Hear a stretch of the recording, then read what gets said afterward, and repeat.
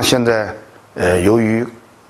国际上疫情情况比较复杂，在国际线上呢，我们仍然呢还要有一个比较长的不确定期。但是，一方面市场有需求，我们现在保持在国内能够对境外输入有效控制的前提下，会考虑呢适当的增加航班。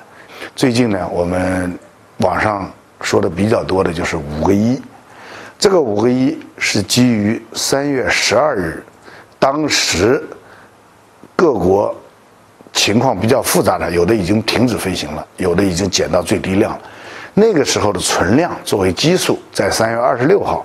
制定了一个原则，在三月二十九号正式执行，就是说已经有飞航航班的，一国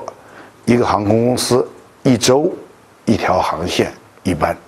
那么。最大计划量是一百三十四班，扩大到我们今六月一号准备要执行的，将达到四百零七班。当然，实际执行的会比四百零七班要少，因为这有航线市场的因素等等各方面的影响。